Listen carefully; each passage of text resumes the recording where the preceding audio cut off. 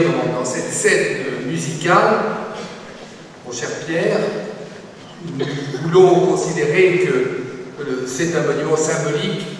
Notre démarche consiste à bâtir pour le territoire de l'Ouest parisien une gouvernance qui ait du sens au sein d'une métropole qui est également un sens.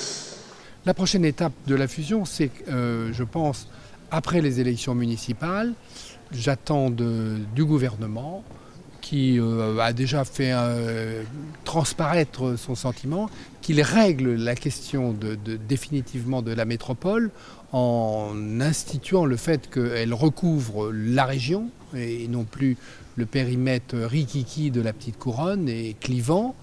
Euh, et à partir de là, je pense que les portes seront ouvertes pour cette fusion.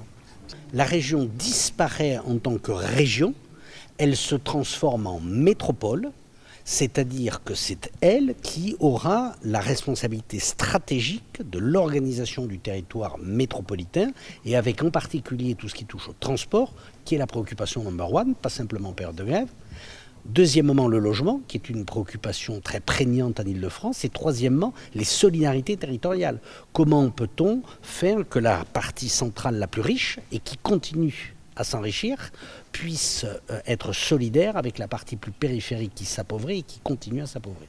On va faire comme on fait toujours entre Yvelines et 92, euh, c'est-à-dire on va essayer de prendre les meilleures pratiques de l'un et de l'autre et on va euh, concerter dans la période qui, qui s'ouvrira juste après les élections municipales. Nous sommes tellement convaincus du bienfait de cette fusion que nous sommes tout à fait disposés à en discuter avec nos concitoyens.